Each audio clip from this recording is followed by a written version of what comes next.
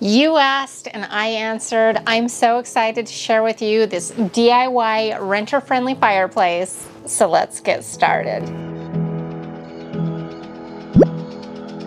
So last year I fulfilled a lifetime dream of having my very own fireplace by taking matters into my own hands and building this full wall unit. I surprised myself. I blew my own mind. I had no idea that I was capable of doing something like this. And that just goes to show you how powerful we really are. Now, I got a lot of good response on this fireplace, but I had a lot of comments of people asking me to do a renter friendly version. They said, I would love to have a fireplace that kind of looks like that, but I need it to be portable. I have designed a renter friendly version of this. We are going to build it together today. Let's go get powerful outside.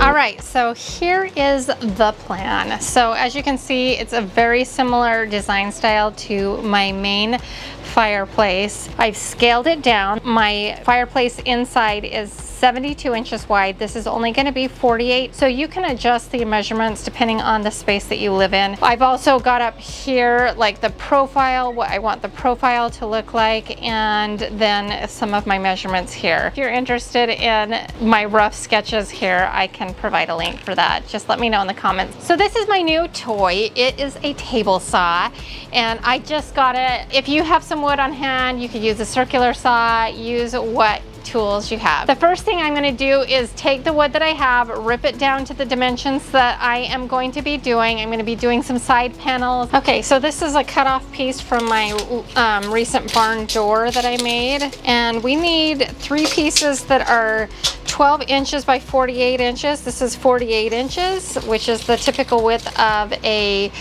piece of plywood. I am using 3 quarters inch.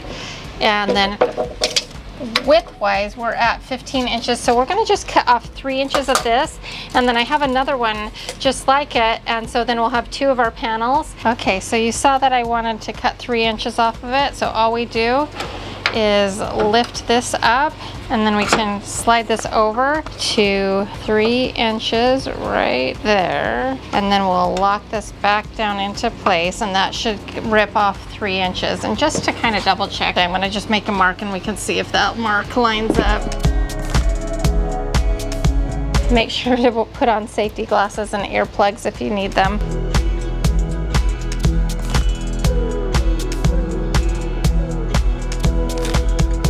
Okay, so we have two at 48 inches. They were already 48 inches to begin with. Then we have two long pieces that we need to cut down. This first one we are cutting down to 48 inches. And then the next one we're gonna cut down to 46 and a half inches because you'll see that it's gonna be wedged in between the pieces of wood. Let's cut.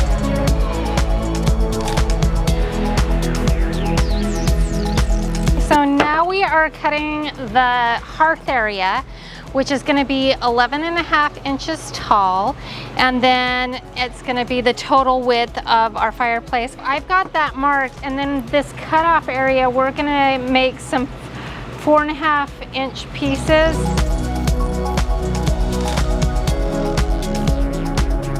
All right, before we started building it, I kind of wanted to show you how it's gonna all be laid out. The most important thing is the top of this piece needs to be lined up with the top of the hearth. Basically, we want to make sure, see how that's a little too high. We are gonna make um, some marks to where we can get this piece to line up with this piece, even though it will be jutted out. This is the bottom half of our side panels, and we are going to take our hearth and I just like to use the piece of wood, the actual wood, rather than the dimensions, just because then I know it's exact. Then we're going to literally trace a line here on the inside. And then just so we know where we're supposed to be lining things up, you can see the line here.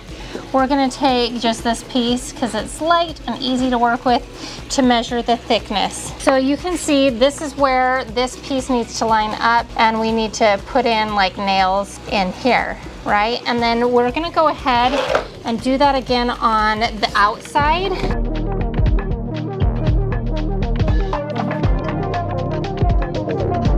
So I went in for lunch and I was thinking about everything and I made a little change.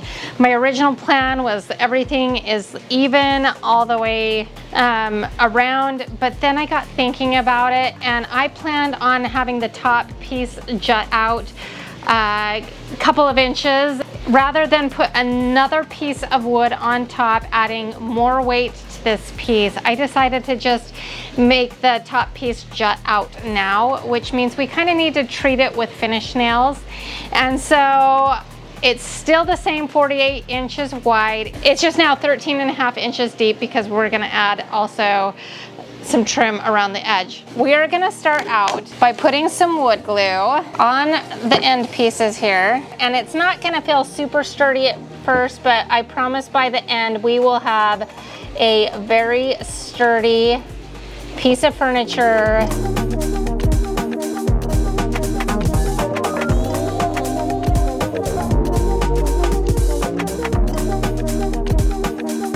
And this is where we are going to attach our top of our hearth piece and we're going to do some wood glue on either side right in that line area and then I'm just going to tack this into place using my finish nailer for now and then I'm going to put a couple of the mega nails in.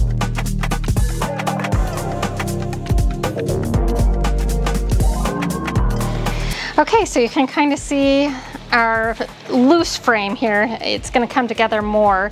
All right, because we want this to be sturdy, I have some extra lumber. This is in my scrap pile. We are going to make a whole bunch of like 45 degree angle cuts so that we can put these in the corner for corner supports. We're gonna just put this at a 45 degree angle.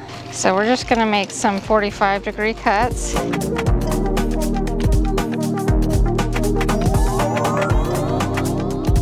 We've got these to act as braces in the corner. We're gonna just put on a little wood glue and do some finish nails.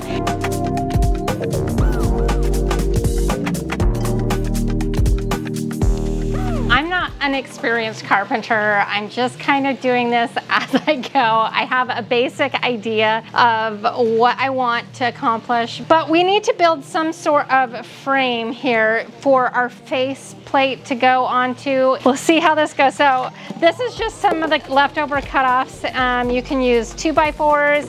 I'm using this because I have this on hand. It will be a little bit lighter, but it will give us something to, to nail the other stuff into. So we're gonna just put some glue all the way around this. We are going to kind of wedge this down into place. It is a good fit. I'm just gonna make sure it's lined up on one side, get one side nailed in, and then we'll line it up on the other side.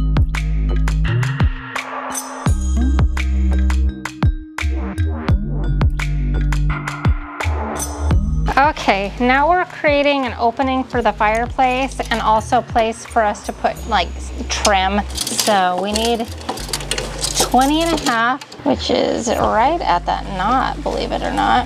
And that's where the bottom of that should go. We'll just kind of hammer that into place.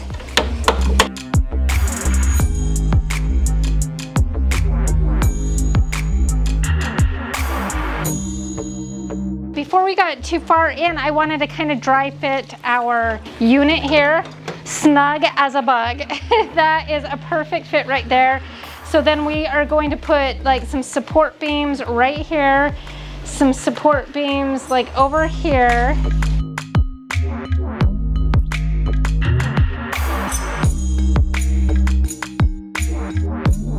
Now you can see me adding in some more support braces here. This is to support our electric fireplace unit, our faceplate, and also add some things for our trim to be able to nail into. Since our faceplate is only going to be a quarter inch thick, I used to skip the wood glue a lot of the times, but it really does help to strengthen our piece. All right, that's a perfect fit. It's 12 and a half from edge to edge. Now I'm gonna run one more strap across there for some trim as well, just as a brace.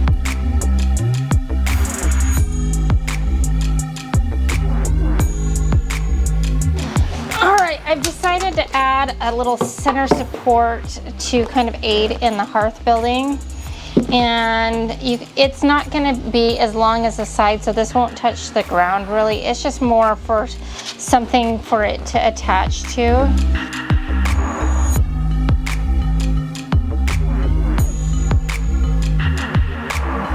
Uh-huh. Dolly wanted to say hi.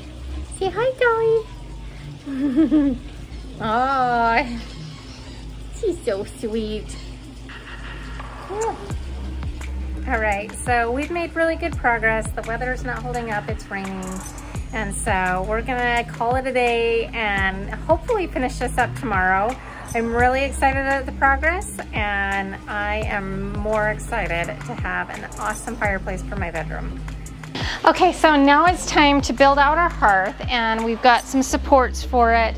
We're gonna build it kind of like on the back side and then flip it out. Then we'll add from there. Okay, so we're gonna make some measurements and marks where we're gonna be putting stuff. The first one is right smack in the center.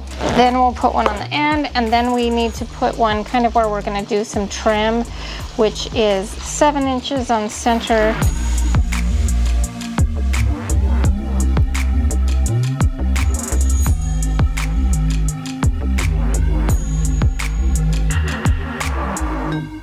So now we are going to attach the hearth and the DIY dolly has come out to assist us. so we'll hopefully not scare her. Okay, so we're gonna put some wood glue to kind of strengthen what we're doing here. And hopefully she doesn't decide to lick it. Now we are going to lift this up, set it into place. So really the only place we can kind of nail it in is right along this ledge here. So we are going to put quite a few.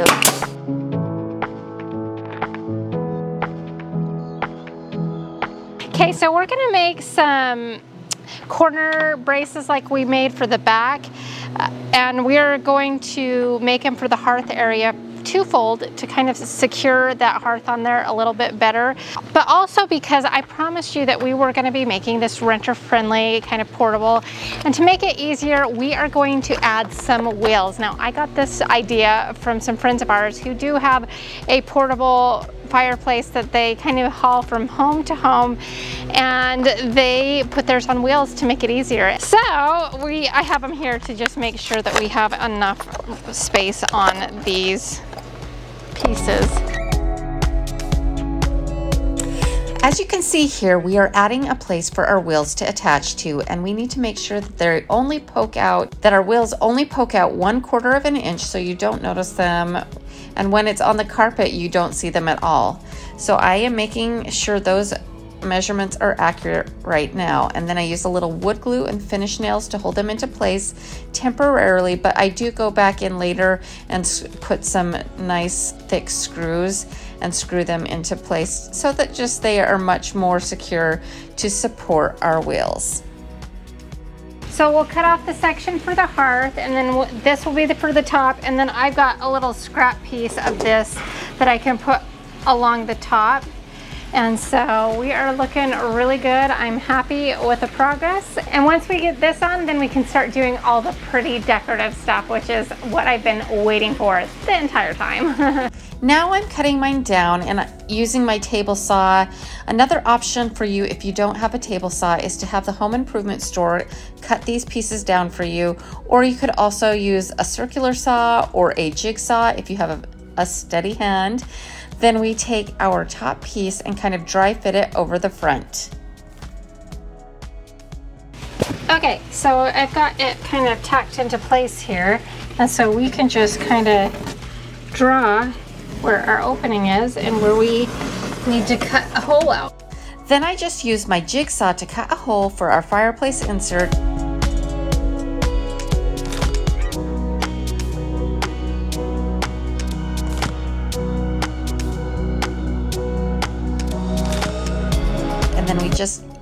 nail this into place.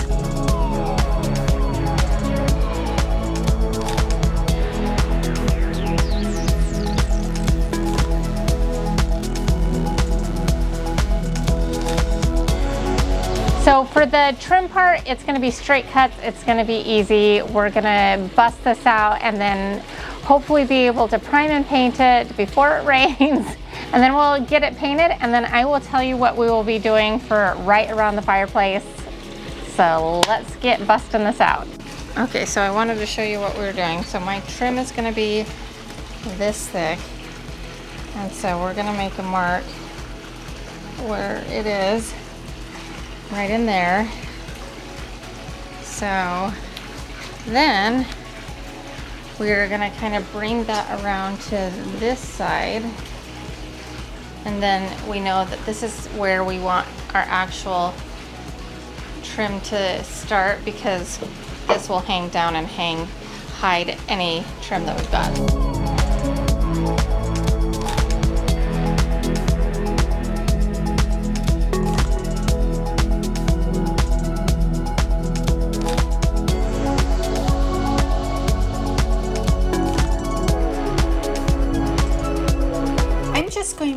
Be using one by twos for this part, which is smaller than what I used on my main fireplace. But again, this is a much smaller fireplace than we built in my living room. So just keep that in mind when you are adjusting the size of what you are building. If you decide to build a bigger version of this, then you can use bigger trim as well, but I really wouldn't go over a one by three. Basically, we want to leave about a five and a half inch opening all the way around where the fireplace unit will be going. I do the vertical pieces first and then I do the horizontal. And we don't forget our hearth. But as we are building our hearth, we need to keep in mind that we are going to be putting some kind of finish like a tile, or you could just paint it out and not do this finish on the top. But I decided to use a peel and stick tile that you're kind of getting a sneak peek of right here. And this is what it looks like.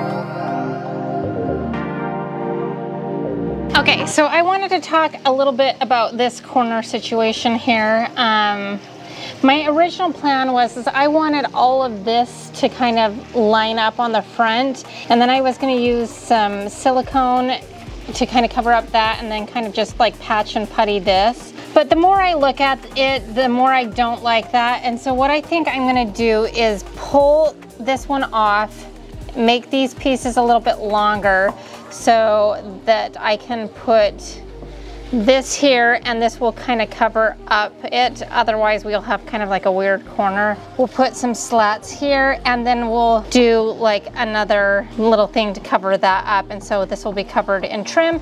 It will also kind of disguise our um, peel and stick tile that will be coming up to the edge and it will you know cover up those edges. Okay so we're gonna just pry this off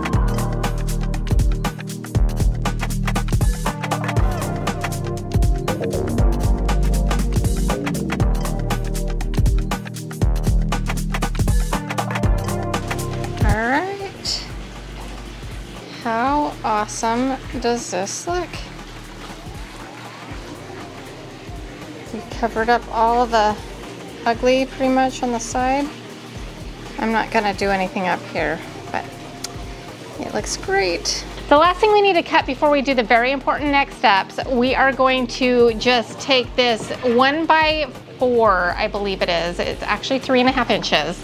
And we are going to miter this around the top see so it will look like a nice mantle and we won't have any seams if we miter it out. So we're gonna set this on here for just a second, but we need to move this over to 45, okay, 45. And then we're gonna take the very edge of this off. I only have one of these boards and so I can't afford to make big mistakes. That's what that should look like. I should have worn my glasses. Oops. So don't do that. Always wear your glasses. There we go. All right, we're gonna swing it around the other 45. Okay, so we're gonna only tack this on for right now, just to make sure that it's gonna work, um, only because I think I want to paint this without this on, but I need to make sure that the measurements are going to work.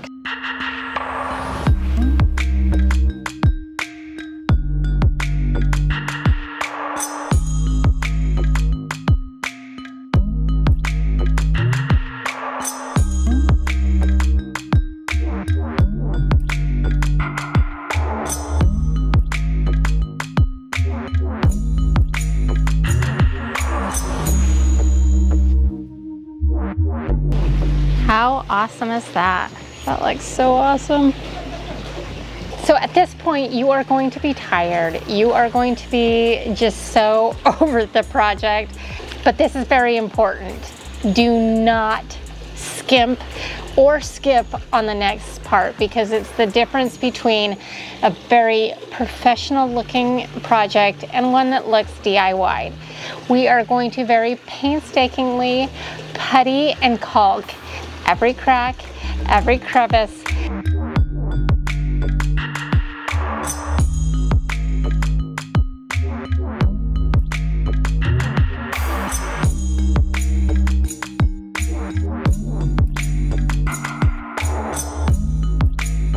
And then we're gonna sand it down and make it look pristine prior to painting. I promise you, if you do this, you won't regret it. So Let's soldier on. We got this.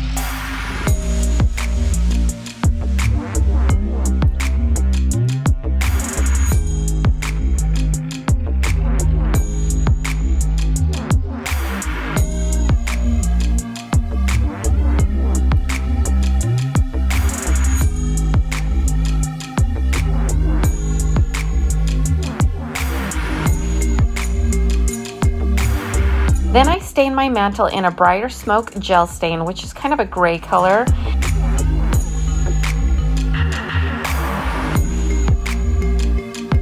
And then after that dries, I carefully cover up the mantle. I next prime our piece using a paint sprayer and it was a very hot day so this all dried very quickly and so after that was dried then I painted the entire thing using the same paint sprayer using semi-gloss latex paint in the color extra white, which I believe is a Sherwin-Williams color. After the paint dried, I attached the wheels and you can see how easily I'm able to push it by myself with those wheels and you can also kind of get a glimpse of how similar our unit looks to the original one. Okay, we are so super close. We've got it in place. I have not sealed this yet just because I'm not sure that this is the color that it's gonna stay. It's just gonna kind of depend on what I end up deciding once my new bed comes. We will be doing a bedroom final makeover on my primary bedroom in just a couple of weeks. And so once I get the bed in here, I'll kind of finalize the color. But as for now, I really like this. But we are missing something something, right? and that is some sort of tile or whatnot. On my fireplace downstairs, I used brick, like a faux brick, and I painted it out white, added beautiful texture. I wanted to do something a little bit different for this one.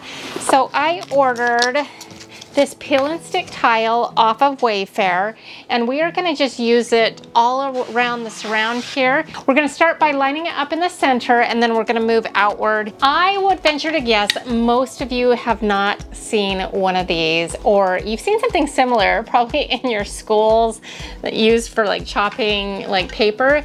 This one is specifically designed for vinyl tile. I will put a link for one of these in the description box below. I bought this, oh, I don't know, like 10 years ago ago. I haven't used it a ton, but it's worked good for me. And I'm gonna go ahead and just use it to cut our tile very easily. So we're gonna just start from the center, work out, and then we'll slip in our insert. You can see I've got a plug right there, and then we'll be done. it was a lot of work, but I'm really excited. This is gonna be a really nice feature here in my bedroom. Let's wrap up this project. just lift this up all the way. We're gonna line it up where that cut needs to be made and see if it works.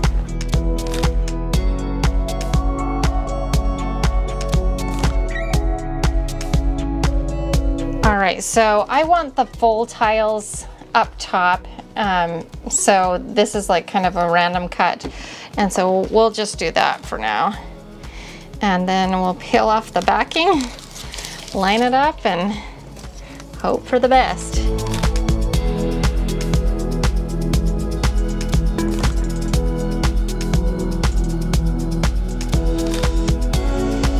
So we may need to use a straight edge and a razor on some of this.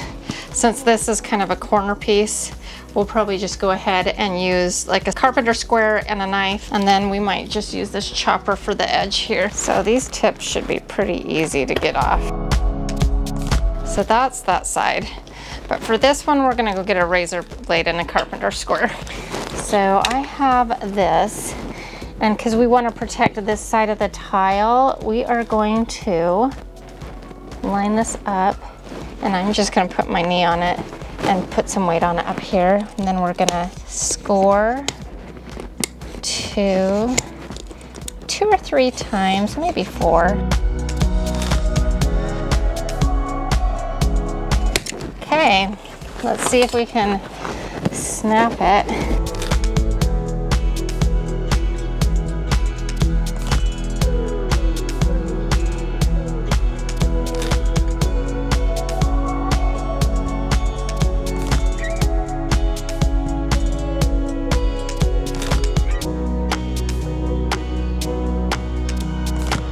After getting all of our peel and stick tiles into place, I go back in with some caulk and caulk all around the edges to finish it off nicely.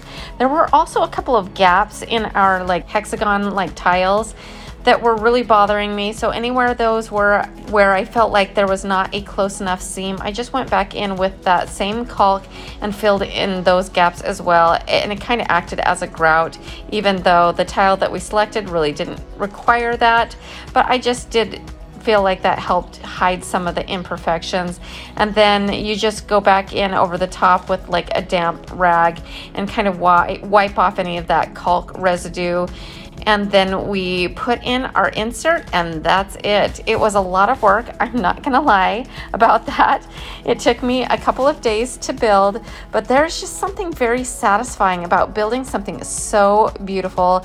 Every time you look at it, you're gonna just feel such a great sense of pride and you are gonna feel so powerful.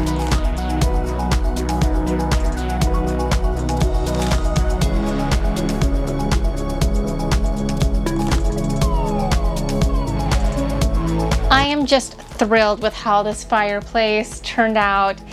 It's beautiful. I love it. And what I love about it the most is that it's on wheels and I can take it with me wherever I go. Should I move, can just wheel it out of the house and take it to my next one. And then I'll feel like home wherever I am.